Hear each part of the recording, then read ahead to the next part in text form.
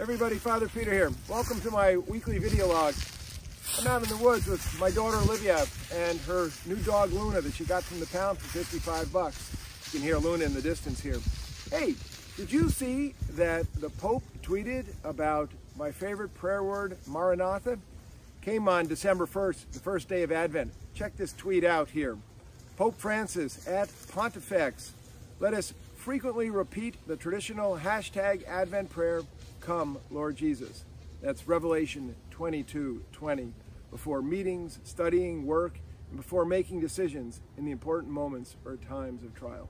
Come, Lord Jesus. I love this, this tweet from the Pope, and I love this prayer word, and I love it that it is the prayer for Advent. We're, of course, in the season of Advent right now. I came upon this prayer word uh, years ago. I had been uh, spending an hour a day breathing, but getting no closer to our Lord. And I kept saying to my spiritual director, What should I do? What should I do? And then there I was in Dick's Sporting Goods in Portland, Maine, trying to get one of my son's fishing reels fixed. And I went over and there was a yoga magazine. I picked it up, opened it up, an article from Father Laurence from the World Community of Christian Meditation. And what did it say? It said, Pray this word, Maranatha.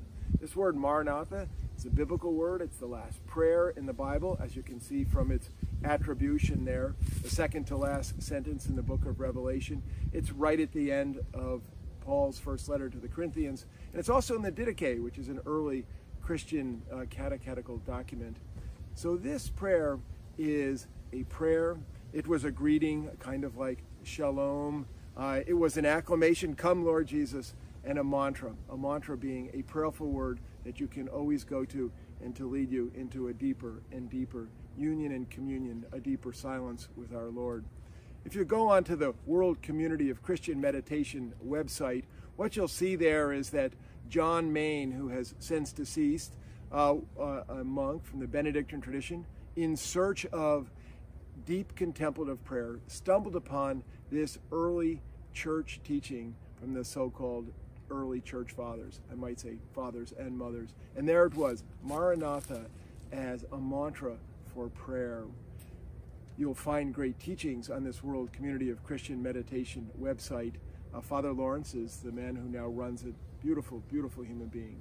And what do they say? But to use this prayer, Ma Ra Na Tha, Ma Ra Na Tha, to just keep coming back to a holy word like Maranatha, and in the stillness, that word will quiet you. But not only just quiet, that word will also bring you to union and communion because it is an Advent prayer, a prayer of the coming of Jesus. It is the prayer of my life, and I suggest it to you because I can tell you over and over and over, people send me emails and say, you know, I heard this word Maranatha from you, and now I use it all the time. I was going in for surgery, I was scared, I use the word Maranatha. I hate to go to the dentist, I use the word Maranatha. I wake up in the middle of the night, I use the word Maranatha. I walk my dog in the woods, I'm bored, I use the word Maranatha. Become friends and companions with this word, and you can become friends and companions with our Lord. So Maranatha, come Lord Jesus, peace and blessings. God bless you. Look forward to seeing you again. Take care.